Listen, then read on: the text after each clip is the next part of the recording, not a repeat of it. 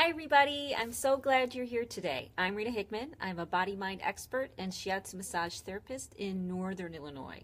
And my specialty is using Asian medicine and other traditional medicines, uh, body work, uh, Irish medicine, uh, North Native American, South Native American, all of those things to help women uh, get their life back in order to feel great, to get their body feeling better, to get their mind to clear, to get rid of the symptoms of stress. Hey, Cynthia.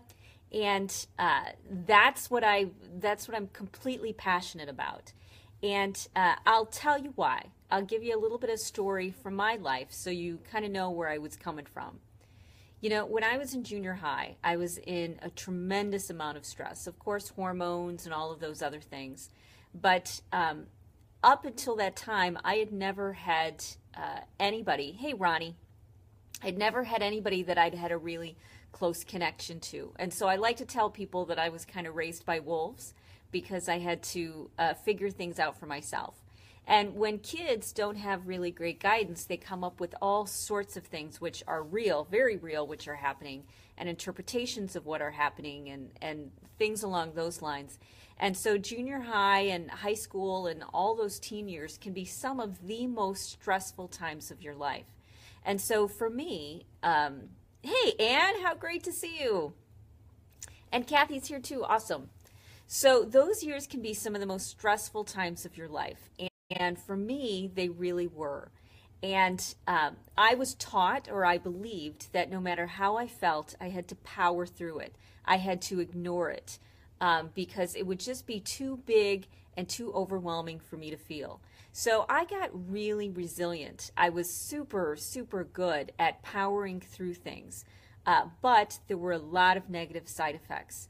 Um, I was somebody who jumped, you know, at the slightest sound all the time.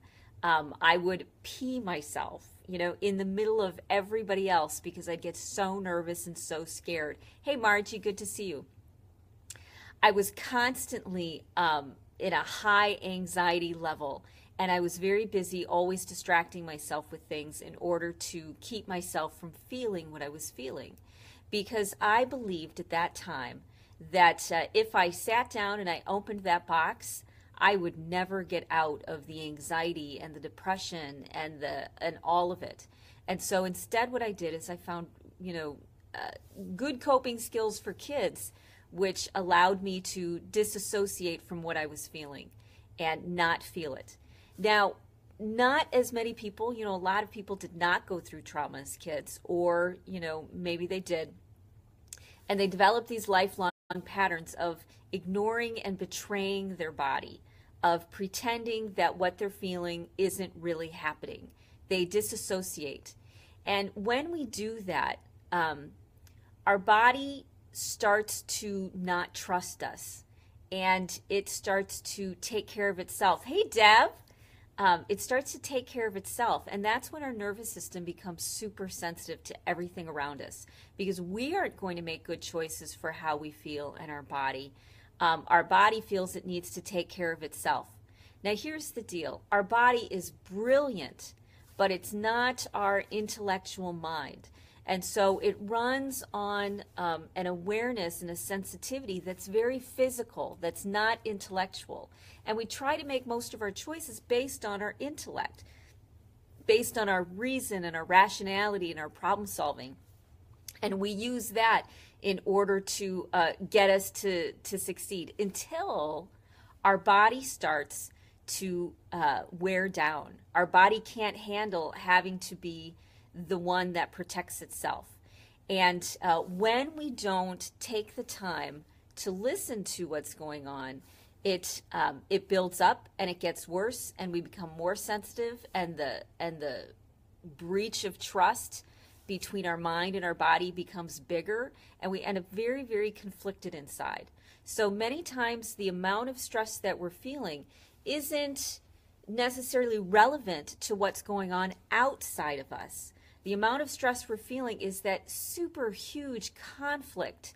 Hey, Ro, that super huge conflict between what we're thinking and what we're feeling. And when we don't take the time to listen to and feel whatever our reactions are our hurt, our anger, our irritation, or frustration when we don't allow ourselves time to be present with that, then um, those emotion chemicals keep building up. That uh, breach of trust gets bigger. Our nervous system becomes more sensitive. We become angrier easier. We become frustrated and overwhelmed easier until we just start to shut down and our life starts to spiral down. Partially because we make bad coping choices by picking fights with the people that we love, or uh, overeating, or turning to alcohol, or drugs, or pharmaceuticals, or overworking, or whatever it is. And our life starts to become more difficult. And so we used to be highly successful, really smart, funny, interesting women, but now we end up feeling overwhelmed.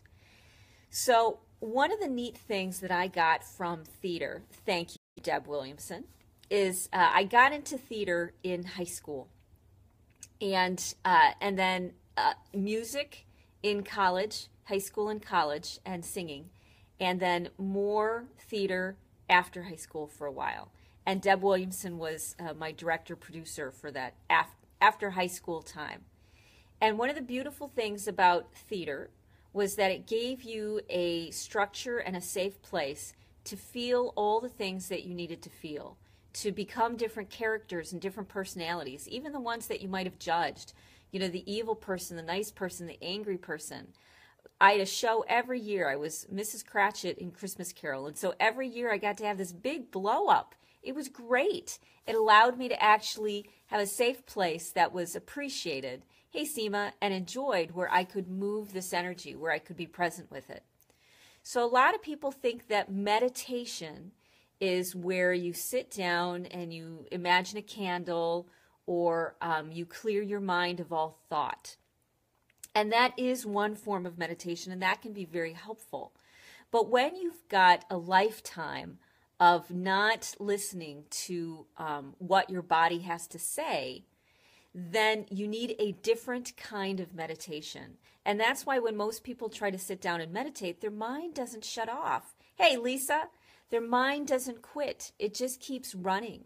And they try to, you know, picture the candle. Hey, Martin, they try to picture, you know, something that's that's calming and it doesn't work. They get fidgety, they get agitated. You have to get up and do something. You can't get your to-do list off of your mind. And you have to work very hard in order to meditate and quiet down. So, I'm going to suggest to you a different way of meditating that will help you deal with your stress, specifically deal with your stress. And it doesn't require clearing your mind. What it does require is you starting to have a dialogue with what your body is telling you. Now, many, many, many years ago, Louise Hay came out with a book about uh, what your body is saying to you. Hey, Gail, and that's a good book, but it's also a very intellectual book. It's a book about, oh, if your knee hurts, this is the problem, and this is the affirmation that you say in order to make it feel better. Okay, that's that's helpful and that really is helpful and it gives you a lot of direction. But in reality, the first step you need to have is your body needs to finally be heard. Now, we're always worried that if we listen to our body, if we start listening to it, it's going to tell us things that we don't want to hear.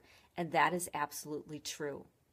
Because our body is working, not working on that intellectual sense, our body is working on a felt sense. It's working on uh, information that is highly sensitized, but not intellectually evolved, just like a child is. So our body is very similar to a child very similar to a non intellectual but very feeling being. And so when we start listening to our body, when we start having a dialogue and actually talking to it, how do you feel today? What's going on? What do you have to say? And it starts telling you things like, I'm sad for 45 minutes. You know, we get very judgy and judgmental. I remember when I first got into counseling, they told me, well, you should journal and I would try journaling, but then all I would journal was how angry I was. That's it. All I wanted to write. I didn't have these complex sentences.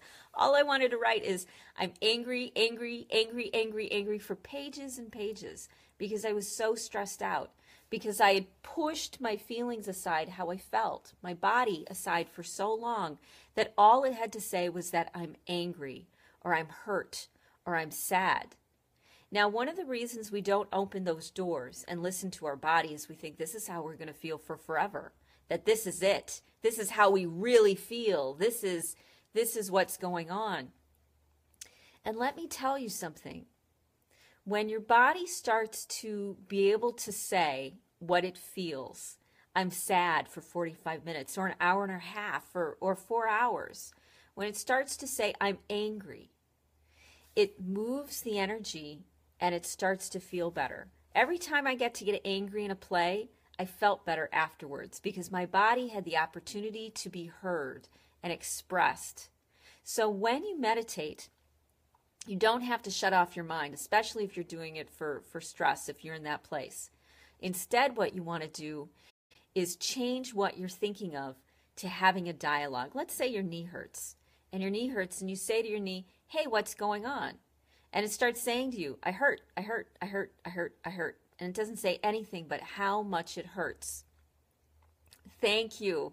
Deb says, My Mrs. Cratchit and all of my other characters were strong, smart, funny, and loving, just like me. Thank you, Deb. Thank you very much. So, you know, let's say your your knee is hurting and you just want to sit there and uh, it just wants to tell you how bad it hurts. Guess what?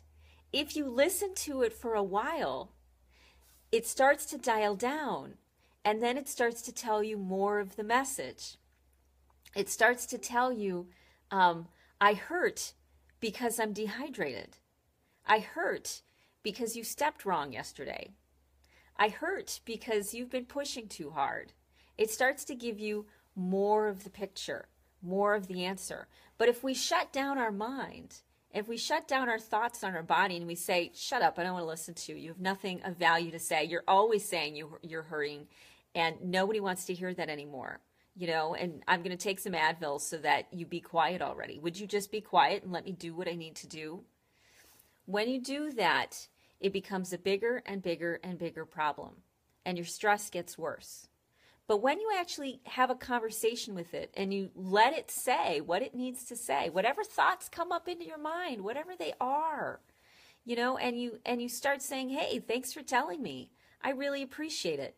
If you give it a little bit of time, then eventually it tells you what's really going on. It's, it gets past the I'm broken. It gets past the you betrayed me. It gets past all that emotional stuff. That's just at the beginning. And it gets to the real meat of it is, yeah, you didn't stand up for yourself. Or, um, yeah, you were too tired to, you know, you let me get too tired so that I couldn't uh, do what needed to be done. It starts to tell you what's really going on, and the stress dials down. And once you know what's going on, then your brain can come back into play and it can start to make good decisions and say, Oh, really? I didn't know you were dehydrated. Well, let's drink some water. All right, then. Thanks for telling me. The issue is, is that it takes a long time. We want a quick fix where we take a pill, where we, you know, do something else and we feel better immediately. And I totally get that. But that is a short term fix that will only make you more stressed out in the long run. But you can still do a short term fix. You can still do those 10, 15 minutes, a little bit when you're sitting in the bathroom, when you're standing in line at the grocery store, when you know you want to be facebooking to distract yourself if you take those 5 or 10 minutes to listen to what your body has to say it dials that down that's a form of meditation being present to what you feel is a form of meditation. All you have to do is listen to it. And just like, you know, all of your friends, I'm sure, who come to you, who want to talk to you and tell you all of their problems, once they tell you everything that's going on, they feel better. You can do the same thing for yourself. I mean, I don't go to a lot of people because, you know, they've got lives, they've got their own problems. One of the reasons I see a psychologist every week. but the best way to do it is to be the parent, be the listener, be the friend to you. You know, take that time that you might spend trying to power through and make things harder for yourself. Instead, take that time and and be a friend to your body. You know, listen to it, uh, ask it what it thinks, what it feels, what it wants, And honestly, if I could have told my junior high self that while I was crying all the time, constantly stressed out, and my body was breaking down, sick to my stomach, all of that. If I could have told myself then, look, all you have to do is listen to you. You don't have to do anything else. Just listen to what your body has to say without any judgment, without any, I can't believe you feel that way, or what's wrong with you, or I shouldn't feel that way, or oh, I did it again and it's all my fault. Without any of that. Just with an open heart and an open mind. Even if it says the same thing over and over and over for 45 minutes, oh my God. Even if it does that, trust me, it dials down your stress. And then when your stress is dialed down, you can get back on track not only get back on track, but start to thrive and move in the direction you want to move. Taking those few minutes every day or several times a day to listen to what your body's saying to you, no matter what it says. Even if it's something that's ludicrous, even if that's something that melodramatic and over the top.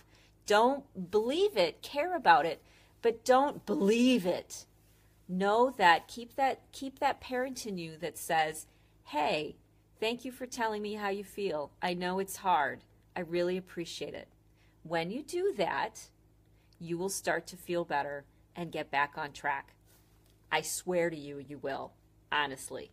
So okay no matter where you're seeing this email youtube facebook if you could please leave a comment below of something that you liked or loved or send a little bit of love or a topic you'd like to see, I would be more than happy to do a live stream on that. I'm so glad you're part of this tribe because just by showing up, we start to rewire our thoughts. We start to rewire how we look at the world and engage with the world because we are very impacted and influenced by the words that we hear, by our environment, more than anything else.